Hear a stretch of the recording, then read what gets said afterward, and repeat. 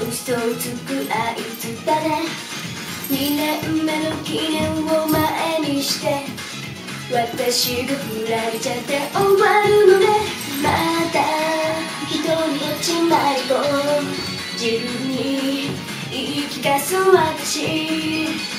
気づかないふりをしていつまでも抱きしめられているから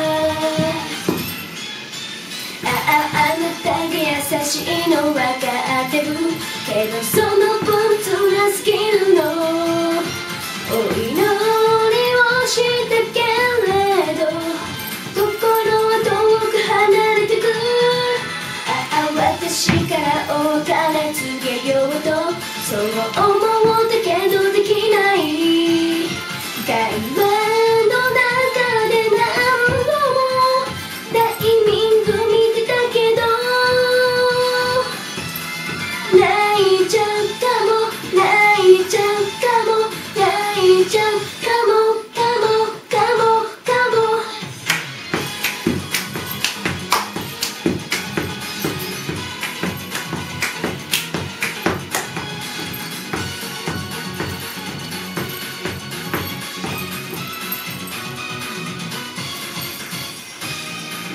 してそんな風に無理するの。嫌ならお別れを言ったよね。わざとわがままをしてみたけど。優しく笑顔で答える人。もうこれでいいのマリコ自問自答する私。最後なんて言う前に抱きしめて。ねえねえ冷たくていいか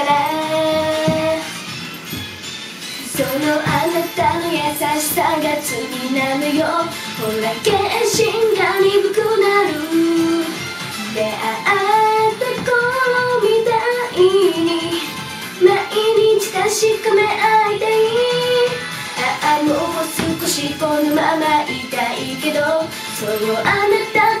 いたが罪なの。よほら決心が